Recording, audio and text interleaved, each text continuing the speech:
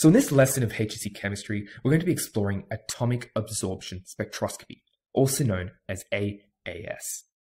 So before we even jump into AAS, let's have a look at the relevant inquiry question and dot point. So this relates to applying chemical ideas module 8. So we're on the first inquiry question, which is analyzing ions. Now, AAS is under this particular dot point, and the key thing you need to know is there are two things you must know about AAS going into your exams. The first most important thing is you must be able to explain the methodology of AAS. An even more important point is you should be ready to perform calculation questions using AAS to determine the concentration of metal ions in a solution. Before we even jump into AAS, let's have a look at what the word spectroscopy refers to. So spectroscopy is a study of how matter interacts with energy. So we're going to input some kind of energy to matter and observe how it responds to it to determine its concentration or its bonds, etc. Now with AAS, the energy that you input is electromagnetic radiation. This refers to all the waves that travel at the speed of light, so that's approximately 3 times 10 to the power of 8 meters per second. We categorize these waves based on their frequency slash wavelength. Now here we have high energy waves, and here we have low energy waves. High energy waves have characteristically high frequencies. So you can see that here with waves oscillating up and down numerous times per second. Contrast that with a low energy wave, which has a very low frequency. So there's a low number of oscillations of that wave. You can also see that the distance between two peaks of a wave here are very, very short. That is also characteristic of high energy waves. They have a high frequency and a low wavelength. Correspondingly, the distance between two peak, peaks of a low energy wave is very high. So low energy waves have a longer wavelength and a lower frequency. The relationship between frequency and wavelength is summarized in this equation here, where c is the speed of light, it's constant, and hence when f or frequency increases, the wavelength, which is lambda here, will decrease. Now that we understand the energy that we're inputting to matter in AAS, let's study how matter interacts with that energy. The key point is that all elements are picky with the energy they absorb.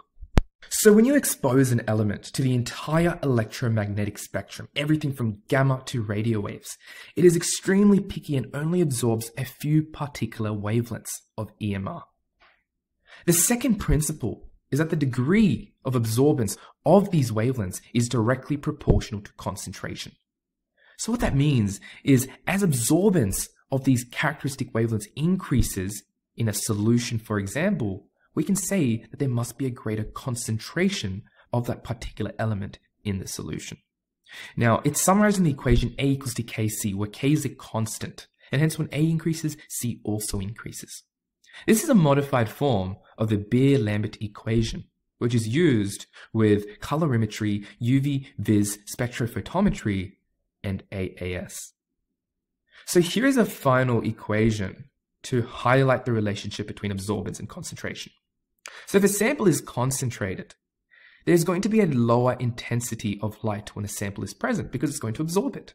And hence, when the denominator increases with a greater concentration, this overall value here, this fraction, will increase, and hence absorbance increases with increasing concentration. Key take home message as A goes up, C also goes up. Let's study what actually happens when we say an element absorbs electromagnetic radiation. So it's specifically the electrons of that atom which will absorb the incoming electromagnetic radiation. So here we're looking at a model of the nitrogen atom.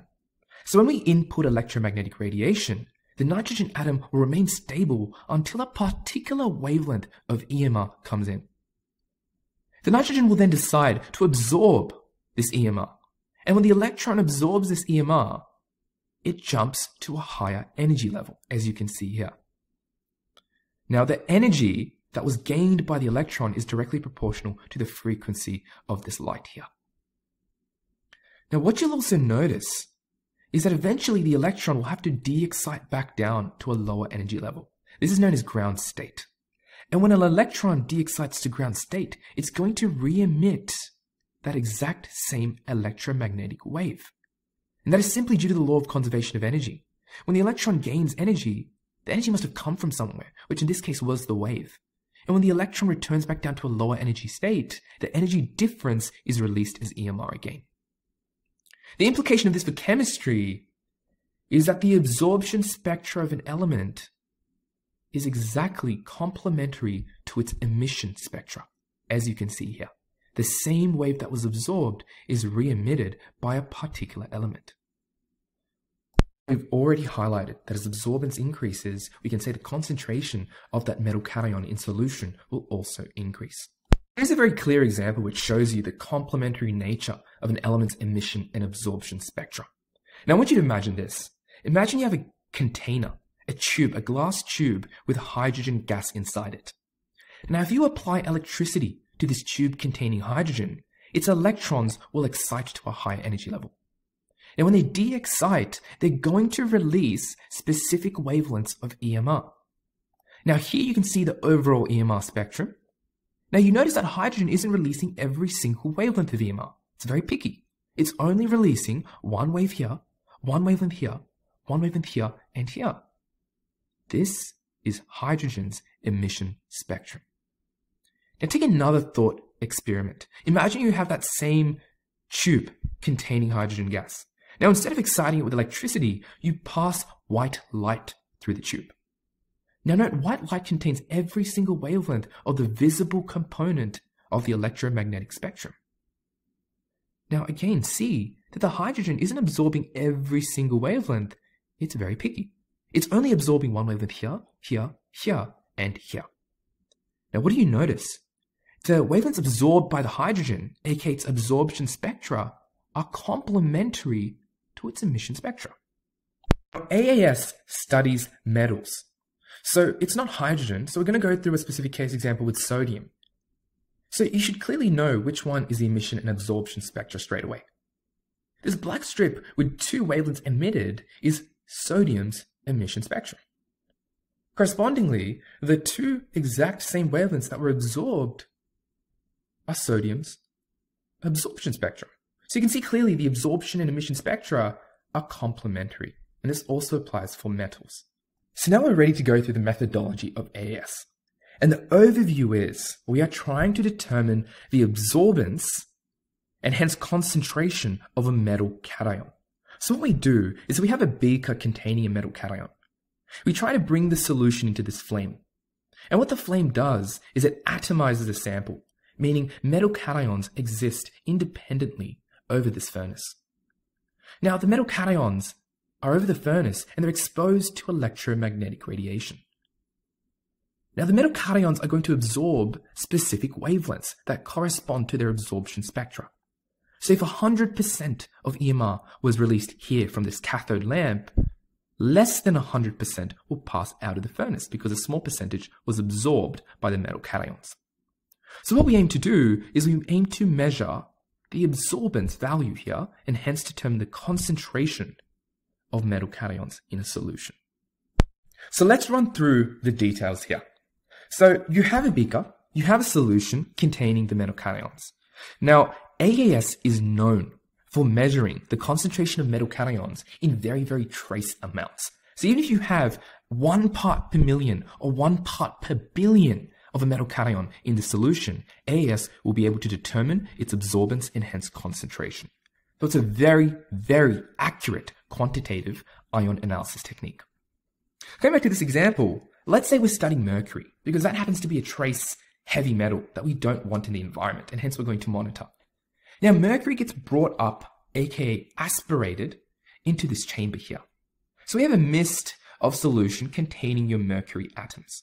Now that's combined with a fuel, let's say a hydrocarbon such as octane.